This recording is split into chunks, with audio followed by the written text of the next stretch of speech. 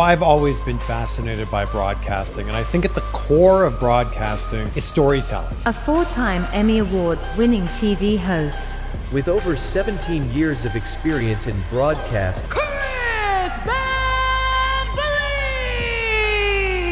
How you got that realization that YouTube is something? 2007, I made this anonymous YouTube channel because I had access to interview some of the coolest people on the planet. So I just started taking these interviews and just uploading them on YouTube. What is the evolution of content that you saw from that time to the time you posted by yourself? If you think back to the early creators, there was really not a lot of strategy. It was just like you had an idea, you made a video, and you put it up. You sometimes flying just to record these amazing podcast interviews. I'm willing to do anything I can to make the conversation even just 1% better. Most of your podcasts are wrestling podcasts. If you wanted to start again, are you still going to focus on wrestling podcast? And every time I did a wrestling interview, the numbers would go up. So I'm going to go all in on wrestling.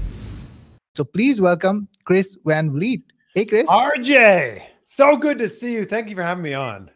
Yeah, yeah. So good to see you as well. Hope you're having a great day.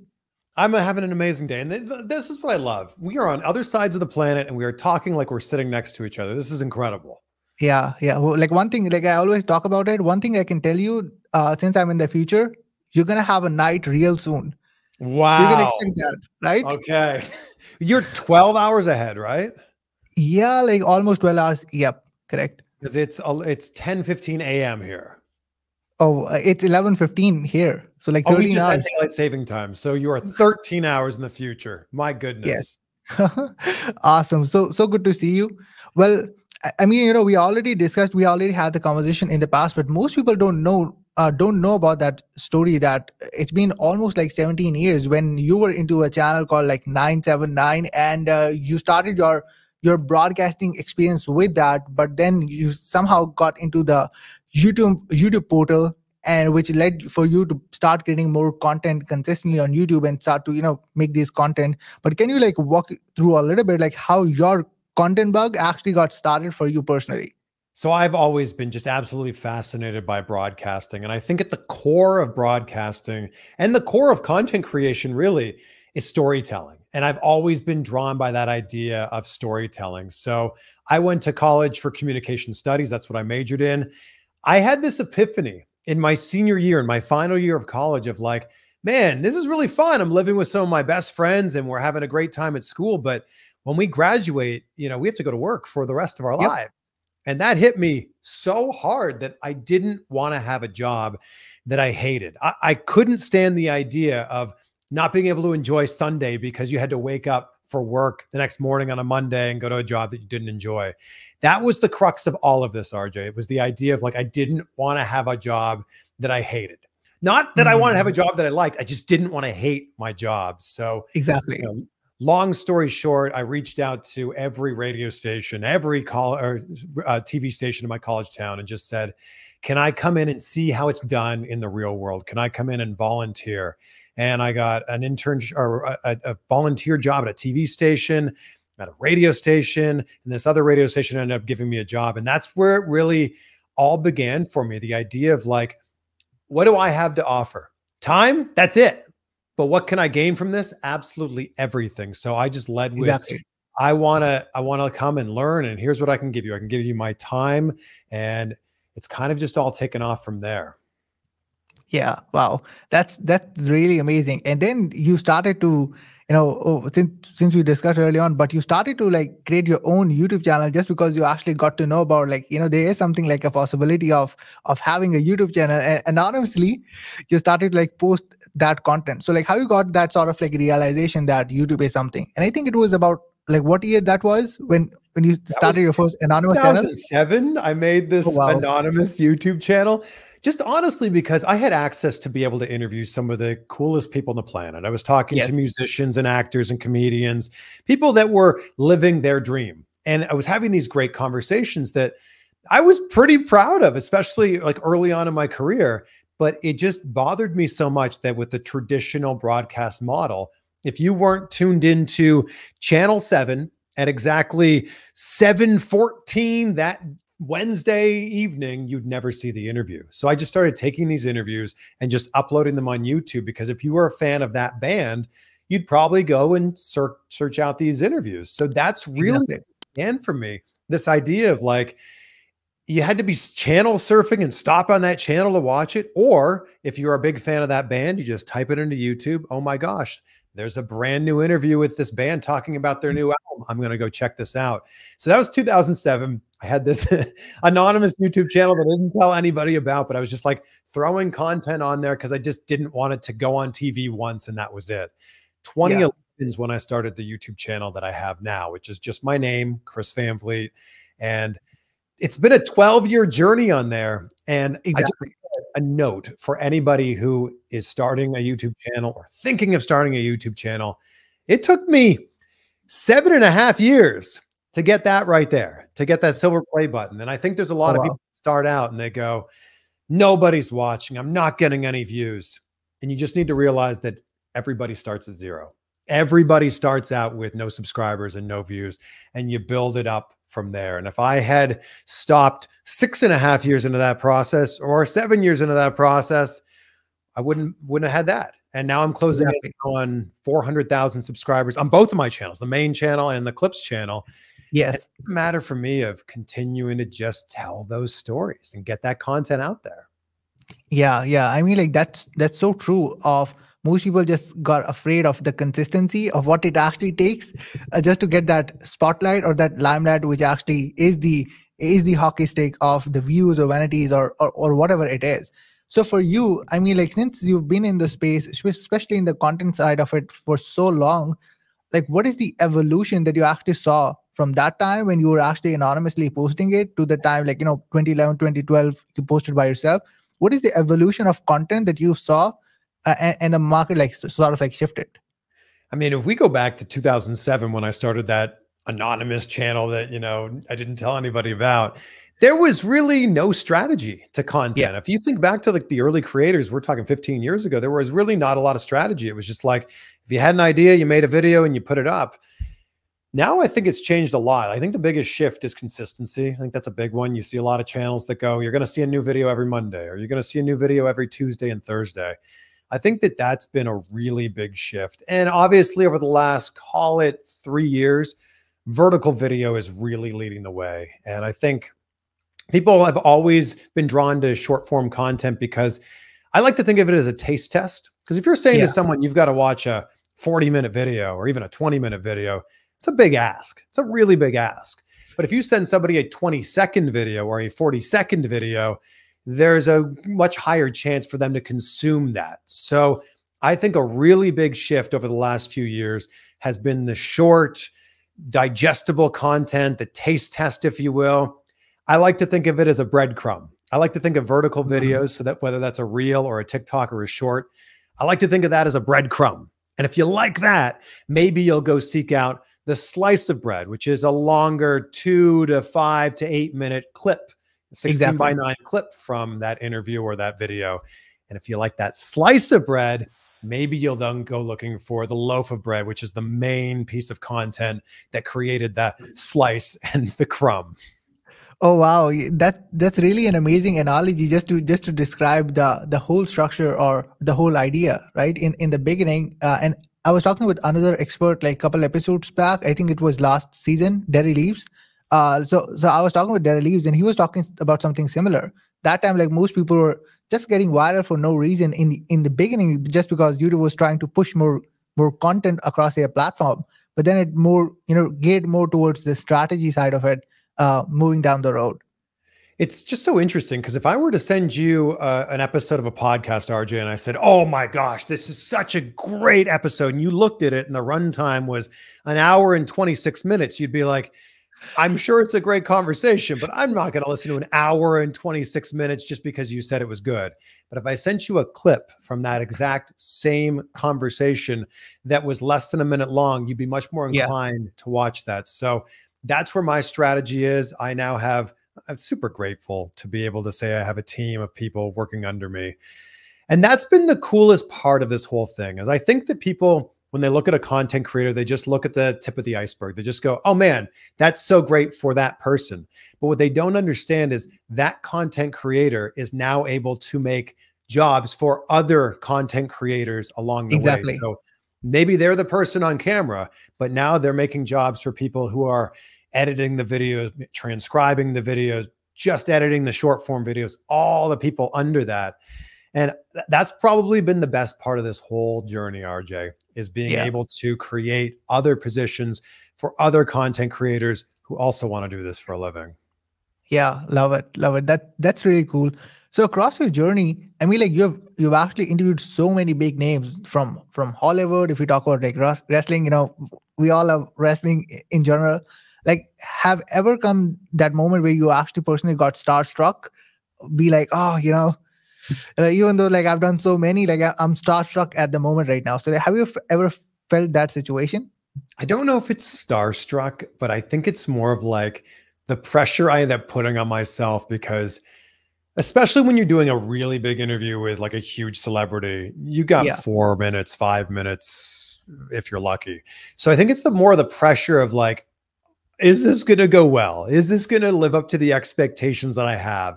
Four or five minutes is three, four, maybe if you're lucky, five questions. So it's like, okay, will this first question go well? And if it does, will that lead, you know, well into the next question? So it's more of just the pressure of like, I hope this goes well. I've got such a tiny little slice of time that if it doesn't start off well, oh my gosh, we're going to be fighting from behind to try to make this work. So I don't Yeah. know if it's starstruck. I've been, my goodness, so fortunate to be able to interview some of the biggest names on the planet.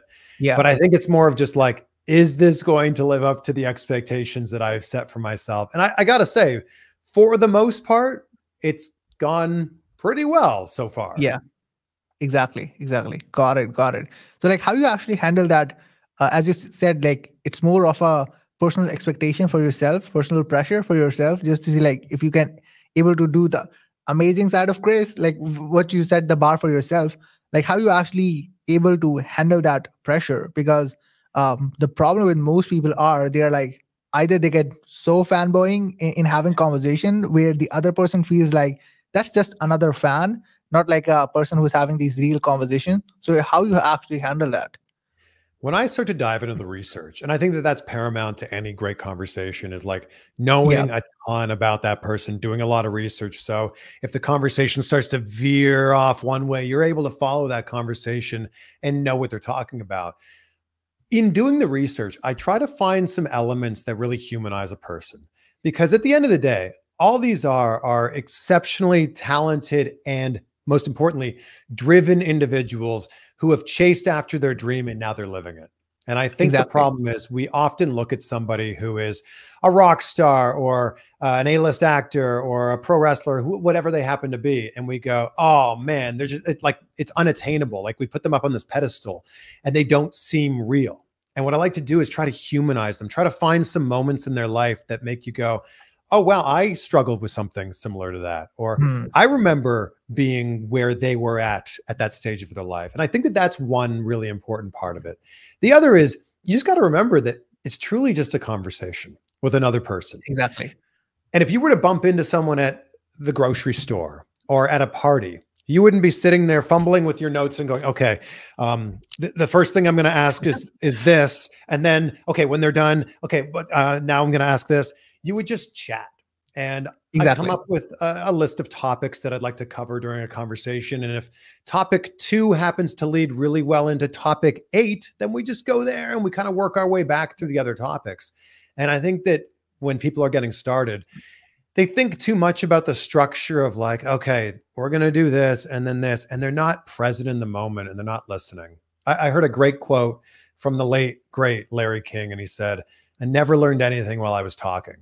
And at the essence of that quote is being a great listener, actually being Yeah. present in the moment and hearing what the person is saying, and then being able to follow the conversation from there. Exactly. Wow. Wow. That's that's really amazing. be- Uh, one of the main reasons because is like most people have this tendency of like when that other person gonna finish out, I'm gonna start speaking and I'm gonna give my own prompt responses, etc. Yeah, like how many times have you been talking to someone and you know they're not really listening? All they're doing is just Yeah. waiting for their turn to talk. And I think that nothing is more frustrating than that, especially when it's part of like a professional interview.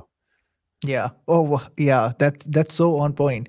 So, like for you, uh, during your whole journey, uh, since you've interviewed so many people out there, like how you're able to sort of like you know maintain that sort of relationship where somebody actually remembers who you are. Sometimes even like after having that know five minute conversation in an event or like quick interview, but then having them remember, like, you know, Chris, right? Like how you actually maintain that balance of building relationship with these people where they actually remember who you are. I, I think that actually might be the hardest part of this whole thing and I, I really think that a really important element is trying to build rapport as quickly as you can. So if that's a, a virtual interview, it's the second that the person hops on, you, you know, you try to build that rapport and you try to remember that like have that energy the second it starts. If it's in person, same thing, try to bring that energy and try to build that rapport. If the cameras aren't rolling yet, you try to find some sort of common ground. Maybe you cheer for the same sports team or you have a mutual friend in common. You try to find something that makes them remember you. And look, I, am well aware that not everybody yep. is going to remember me. I have an interview this weekend with Ed Helms, you know, the actor from The Hangover and yes. The Office. I've interviewed him before. I'll be surprised if he remembers that we've done an interview before, and that's okay. And I'll just go in this time and try to build that rapport a little bit more. And I think that that's what it is. The, the last thing you want to do is have a forgettable Uh, interview or a forgettable meeting with that person. So I think that on the other side of that, then is trying to do something that makes you memorable. And I don't mean in a silly way, but just something that like links you up to this other human in some sort of way that six months down the line, six years down the line, they'll go, Oh, yeah, RJ, I remember you. Yeah. Yeah. Love it. That that's really cool. And I think the, my personal takeaway around that is like do something in such a way positively so that they can remember you or just create an experience or a vibe or something like that where they actually remembers you, right? Absolutely. And I feel like I'm now getting like recognition or at least having people remember me or feel like they know me from all the social media posts I've been putting out. Yes. And that's actually been really rewarding because as you know, you create so much content in a vacuum right? Like, I don't know about you, but I am sitting in an empty room right now with a camera and a computer, yeah. and that's it. And it's really easy to forget that on the other side of this camera lens, there are actual people that are watching your content, whether that's live, like we are right now, or that's someone who's looking at a clip on social media, or they're listening to the podcast as they're driving or working or working out or whatever. It's so easy to forget that. And there's been a few times now where someone who has like, you know, some real level of fame is like, oh, yeah, I know who you are. I've seen your videos before. And I'm like, oh, wow. So like the, the rapport is being built before I've even, even met that person. And yes. that's actually something I'm, I'm dealing with now that's blowing my mind. Yeah. Yeah. Like you're actually one of those uh, persons that, that tries to maintain that sort of like consistency of, of posting content regardless like like what actually you know matters and uh, you do like sometimes like flying in like just to record these amazing like podcast interviews and sometimes recording it in in, in the in, in the studios itself. So like how you manage that balance of handling the personal side of your stuff but also handling the professional side that is kind of like a side by side balance? So you're right i'm flying to do interviews because i just so much prefer doing an interview in person yeah if possible i also think it makes for better social content when that's an option and I, I think the main part of my business right now is like it's the podcast, and then it kind of all trickles down from there. Like the podcast is the big piece of content that also creates a long YouTube interview, but then it creates clips from there, and it creates social clips from there, and then it creates you know, other things, other opportunities that come out of that. So I'm willing to do anything I can to make the conversation even just 1% better. I remember a quote years ago, and it's always stuck with me. I heard this years ago.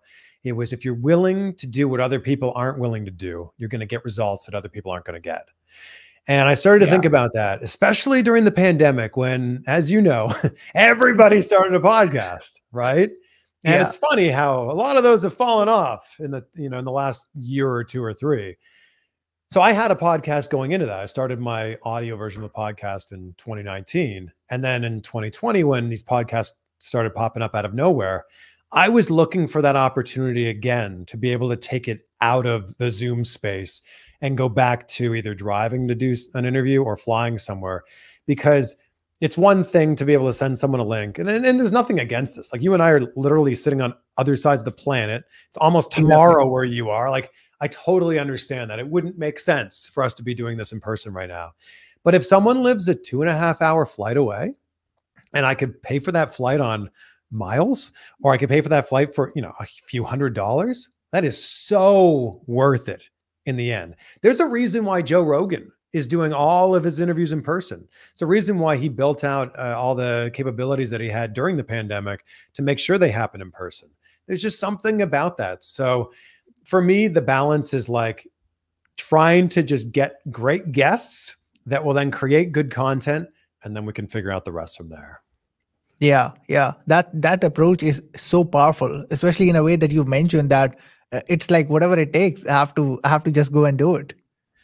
Yeah, and I just think that there's a lot of people that aren't willing to do that. And I think there's a lot of people that would rather just make excuses for why it can't happen rather than looking for reasons why it can. Like, yes, a yeah. flight from LA to New York is expensive. I get it. But what if you could open up a credit card that gives you 50,000 free miles and now your flight to the other side of the country is free? And I don't think there's a lot of people, for whatever reason, that are thinking in those terms. Yeah. Wow.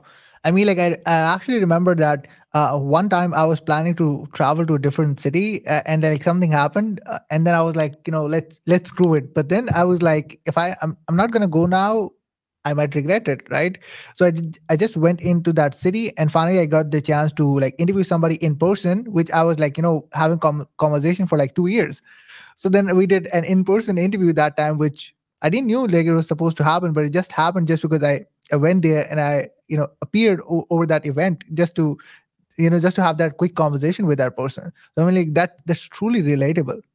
Yeah i love that. All i'm looking for in those situations is a yes. It's like do yeah. you want to do this? Yes. Okay great. I'll figure it out. I'll you know if you give me a date and a time i will be there and i will figure out the rest but all i need is a yes. And i think that especially when you're starting out in content creation you should be seeking out that yes because it's exactly. really difficult to be hearing all the no's when you're you know pitching if you have an interview show when you're pitching for guests or you're getting no response. That is so difficult to deal with. But if you can just get that yes you'll figure out the rest from there. Yeah 100% so like for you personally out there let's say if we talk about okay now you got the idea like how you're actually doing it and now you're di- diversifying into like most of your podcasts are around like wrestling podcast and then you know something else comes in you know, that's that's also great. But for example if you wanted to like start you know again like what would your strategy would look like? Or like are you still going to focus on wrestling podcast? Uh, is that your uh, passion would be or? Yeah so i mean i've been so fortunate to be able to interview you know some of the biggest celebrities on the planet some of the biggest yes. musicians on the planet of course some of the top wrestlers on the planet also a lot of the biggest entre- entrepreneurs on the planet and i just kept seeing in the data that the the wrestlers were just just kept doing so well. So I was trying to do it all. I was trying to be a show for everybody because I was genuinely interested in having all these conversations with everybody. But I was starting to see that every time I did a wrestling interview, the numbers would go up. And I'm like, well, I can't keep fighting this. So I'm going to go all in on wrestling. I had already gone pretty far all the way in on wrestling, but at the same time, over the last few years, I had interviewed people like Ed Mylett and Lewis Howes, yeah. and I'd done a lot of great conversations, had like a lot of great conversations like that. Uh, Grant Cardone comes to mind, but they just weren't performing in the same way because I knew my audience wasn't as interested in that as they were in wrestling. So for me, I went all in on wrestling about six months ago. And my show's never been bigger. I mean, you said it in the intro. It's it's top five wrestling podcast in exactly. the world and continuing to grow. But I will say this what's really interesting, whatever your niche happens to be, is when you go all in on it, whatever it is, people start to notice very quickly. Like it doesn't take you doing this for a year or five years for people to go, oh, wow, you're the real estate person or whatever, you're the chef person. It's funny that the longer you do this, and the more you get into it, people start to go, Oh, yeah, I've been noticing you've been doing a lot more stuff about real estate. And it's just a matter of consistently hitting that hammer to the nail and just continuing yeah. to do that. And people start to take notice relatively quickly. Exactly. Yeah, definitely. So, you know, a lot of people have this sort of um, mindset or like, oh, you know, Chris has been doing it for so long. That is the main reason why he's he's really a good communicator. So like if you actually nail down like two or three things in, in general, like how somebody could be a really good communicator, uh, whether it's, it's Zoom or whether it's like in person, like communication is is the massive massive thing in of itself, right? If you master it, it's like all the things are more likely to be seen as possible. So like if you list down like two or three things, like how somebody can become a really good communicator, uh, that would be amazing. I'd say listening is number one. You, you've got to be able to actually actively listen when you have asked someone a question and, and, then you can pay attention from there. Number two, I think that this is really underrated, especially with so many people that want to be a content creator, is you got to learn to get better on camera. And mm. we all walk around now with some version of a supercomputer in our pocket all the time. Just take your phone out and record videos just for yourself. Like just hit record and start getting used to seeing and hearing yourself on camera. Because look, I know it's uncomfortable. You're seeing yourself the same way the, the rest of the world sees yourself. And yes, your eyebrow does this weird thing when you talk, and one side of your mouth is higher than the other. All that stuff is, yes, the way that the rest of the world sees you. And yeah, that's the way that your voice sounds to the rest of the world. If you can get used to that and start to improve on that and get better at that, that's going to be go, go such a long way especially in the world of youtube and content creation that we live in right now. Yeah. Wow. That that's amazing. And it, it kind of like remembers uh so for me like i had a, a piano channel like from probably like from 2013 or 14 to uh, about like 2018 like it took me a couple years just to get my first thousand subscribers and i thought i'm gonna do my face reveal and I never did it at all just because i was like i cannot get on camera i don't look even like amazing i don't know what to talk about stuff like that and i was like i never i never done that. So but then like when i got into this this side of the space like entrepreneurship etc then i was like you know now i have to do it no other choice and then you know kind of like right right now we're having these conversations but that back then i was like i cannot even do it and i was doing these audios and just posting on you know, plugging it with video, just uploading it because I cannot show my face, guys. I'm shy. Look, I think you can't fake confidence. And I think that that's yeah. why I'm saying you should like just get used to seeing yourself on camera. And I think that long gone are the days of like you need you need to look like Brad Pitt or whoever. Like I think that people used to think like, "Oh, I I don't have a face for the camera." Like it doesn't matter. Like content creators now more than ever are real people just sharing their journey. It's not like scripted out stuff. It's just real people documenting the things that they're going through. Exactly. That that's exactly something like I got in my mind personally at that time after that when I started content creation. I was like, even though my accent might not be good, like who cares? But uh, I'm the only guy who have to improve. How many languages do you speak? I mean, like three or four, I would say. Oh, just three or four. You know how many I speak? I speak one. so, so I mean, that's something you can lead with as well. Like the fact that you you are fluent in more than one language. Oh my gosh, that is such a rare quality to have. And I'm sure people that are watching this right now also have that rare quality going for you. Run with that. All I can speak is I, I live in America, but I'm Canadian. All I can speak is Canadian yeah. English. That's it. oh, that that that's cool. But but yeah like uh truly it does makes a lot of sense especially the way that you mentioned that it's like you just have to care about your own uh self and it doesn't matter about other opinions. And as soon as you get used to it you just like bypassed all of them yeah, like focus on your strengths. Like, what are you the best at? And it doesn't matter if you're not good at some other things, if you're really good at one or two things. And that's where your main focus should be. And I also think one of the biggest things in this whole conversation about content creation is you just got to start. You, you yeah. have to start. And I think that there's too many people that spend way too much time time thinking of a great name for their channel or a great name for their podcast or coming up with a logo for it and a list of possible guests. You just gotta start. And yes. as big as Joe Rogan is now, episode 2000 and whatever he's at right now, how many people do you think were listening to Joe Rogan 117th episode? Not a, Not a lot. But if you were at episode 117 of your podcast right now, you'd be pretty pumped. So I think the idea is you just got to start and then you just got to keep going from there. Yeah exactly. So recently, I think it's been about a month or so. Like you and Travis, uh, Travis Chappell, like most people know about uh, him since he's been on the podcast. You guys have actually launched Full Time Creator Mastermind. I've been the part of it. I'm loving it. Uh, so like for the people out there who don't know about it, can you like elaborate a little bit more what what it's all about? Who's it for?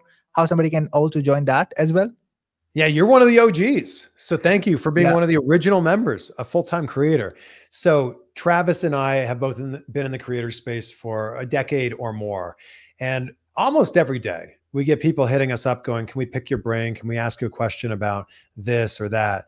And I want to help everybody. I want, I, I, I truly think that if you want to do this, everybody could be a content creator. So we're, we built out this mastermind. So we're letting people know everything that we've done, including all the mistakes.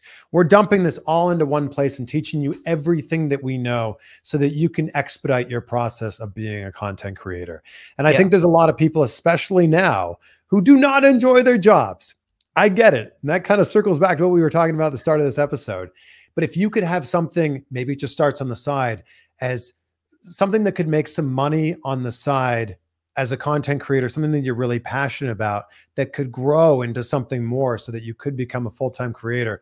I think that's the dream for a lot of people. So True. we've set up the full time creator mastermind at fulltimecreator.co. So if you want to go check that out, you can join for a dollar for the first two weeks and see if you like it, see if you get something out of it. I'd be shocked if you didn't. And it's been really cool seeing people in the group already starting to grow and make some really big wins as a content creator. And I think that one of the most difficult parts about being a creator or being an aspiring creator is you feel like you're doing it alone. And the cool thing that we Exactly. built out with the mastermind is here's a whole bunch of like minded people at various stages along the game who are doing the things. So you can feel like you're among other people, among, among other like minded people who are doing the same thing that you want to do. Love it, love it. Yeah, as you as you mentioned, like I've been the part of it from from the beginning of of full time creator mastermind, and Yeah. No, I, I'm loving it. You know, it, it's really good, especially with the people and like hanging out with you and uh, with Travis and other a- experts over there, which is absolutely amazing. And as you mentioned, like most people, in some cases, might never get the chance of you know interacting or asking those questions and get that answer from them, which they actually just need just to get motivated or just to take that action. I remember when I was starting off as a broadcaster. So before YouTube was even a thing, I just wish I had someone that was able to kind of guide me along a little bit. And I didn't have that. I didn't have someone I could reach out to and say, what's the next best step for this? Or how do I do this? I had to kind of figure it out on my mm-hmm. own. And I think in hindsight, it probably stunted my growth a little bit as a broadcaster because I was making those mistakes and realizing, oh, that's not the way you should be doing it. You should be doing Yeah. it this way instead. I love one of the things I love the most about full time creator is the Q and A's we do at the end of every lesson because people are like struggling with something. Maybe they've been struggling with it for months, and they go, "Hey, what's your take on this?" And both Travis and I, with similar but very diverse backgrounds, are able to give our input on this and hopefully uh, allow you to be able to come to a solution on something a lot quicker than if you tried to trial and error it yourself. Yeah, absolutely. So yeah, guys, first of all, I will post up the link in the description down below, also in the show notes, so you guys can be the part of it. I'm already there, so would love to hang out with you guys. Uh, and also I'm gonna post up uh, Chris's socials down below. If you're not following Chris or living under the rock, like you better go and follow. Well, uh, the last question I want to ask is, uh, what's next for you? Like, what's your goal that you're heading to right now at the moment? I think I so the biggest thing is every day. I I feel like every day is the new goal, and my goal in life has just always been to be excited for what I'm going to do that day, and then at the end of the day to be proud of everything that I did that day, and then the next day it resets and we do it again. But I've got my eyes set on a gold play button. I so badly want to get a million subscribers on YouTube. And my CVV Clips channel, where I Yes. post clips and the most interesting moments from my interviews, that's been growing pretty steadily, like around a thousand subscribers a day. So Oh, we're closing in on 400,000 subscribers there. That's definitely something, and I've got it written down on my whiteboard. You you might remember that from one of our last Yes, calls. I I've got it remember. written down here. On October 21st, I had 353,808 subscribers. We're already at 372,000. So we're 19,000 above that. So continuing to grow that, the gold play button is definitely a goal. But honestly, it's just to continue to grow every single day and to be grateful for the opportunities, like to be present enough to go, man, this is really cool to be able to do this. Yeah, yeah, that's that's really amazing. And I remember there was a quote, and I posted like a couple couple weeks ago. It was something like, "Do it every day as if it's day one." Mm, I love that, and it's so true because I think that whatever it is that you're doing, I think that it's so easy to get caught up in like, "Oh, here we go, it's another day," whereas like, especially when you're a content creator, it's pretty cool to be able to do this all the time. Yeah, yeah. Well, uh, Chris, it was so amazing to talk to you, having this conversation. Any last thing that you want to say before we round the show up? I want to say congratulations to you and everything that you've built out here. And I don't know if people know this. I don't know if we put it out there, but we will now.